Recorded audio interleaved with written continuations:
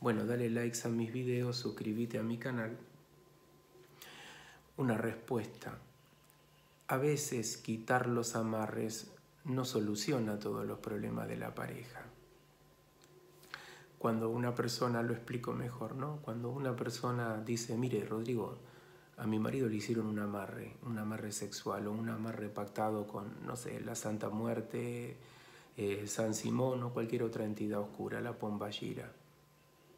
Entonces, eh, si le hago la limpieza del amarre, todo va a estar bien entre él y yo. Y a veces sí y a veces no. ¿Por qué a veces sí, a veces no? ¿Por qué? Porque si solamente el problema es este amarre, se saca el amarre y todo debería estar muy bien. Quizá en, en, todos estos momentos de crisis últimos se han dicho cosas feas, bueno, habrá que trabajar sobre eso. Porque cuando uno se dice cosas feas con la persona que ama y hay una crisis, un poco producto por la, por la brujería, bueno, eso genera heridas y hay que intentar sanarlas. ¿Qué es lo que cree la gente todo el tiempo? Y en parte es cierto en muchos casos. Ahora, en muchísimos casos, yo diría más de la mitad, la persona saca la brujería, saca el amarre, saca la magia negra y dice, Rodrigo, ya sacamos esto, pero eh, es que mi marido está alejada o mi mujer no me habla, está enojada conmigo y dice que no me ama más. ¿Y por qué quitando el amarre no se resuelve el problema?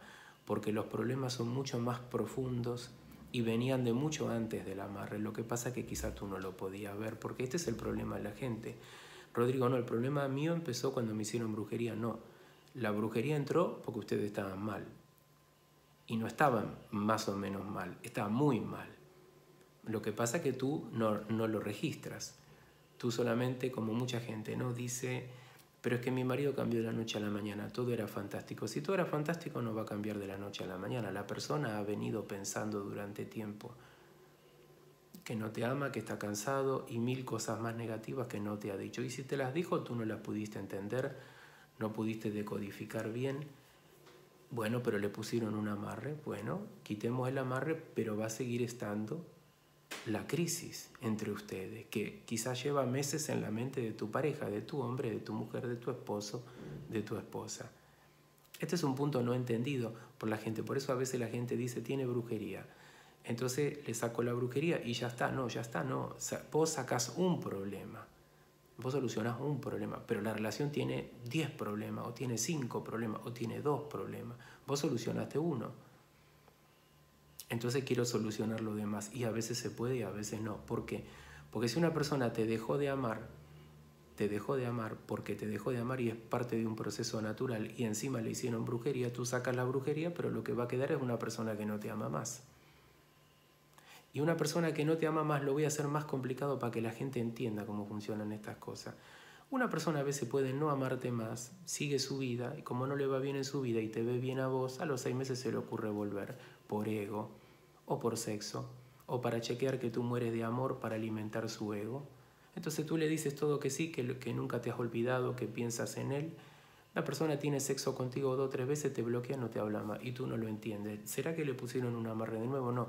¿Será que se sacó la brujería, pero hay problemas que no tienen solución? Pues si alguien no te ama, eso no tiene solución, se los aseguro.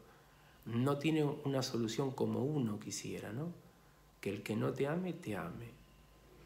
Ahora, solución hay siempre para la vida de uno porque siempre hay un camino. Lo que pasa es que nos resistimos algunos caminos. ¿Cuáles son esos caminos? Caminos de sanación.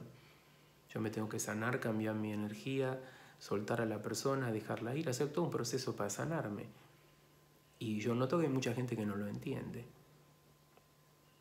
Que está dispuesta a todo por volver con un ex que no ama más, que no la ama más o que no lo ama más, pero no está dispuesto a nada para sanar.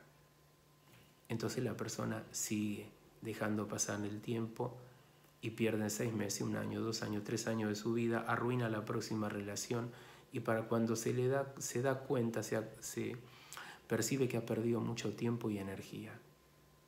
Entonces, tomen en cuenta esto que, que digo yo.